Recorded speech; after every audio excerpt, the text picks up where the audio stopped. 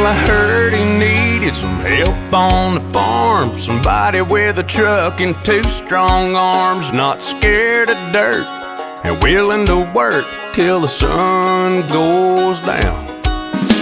So I pulled up and said, I'm your man. I can start right now. And we shook hands. He said, The fence needs fixing, the peaches need picking, and the cows need bringing round.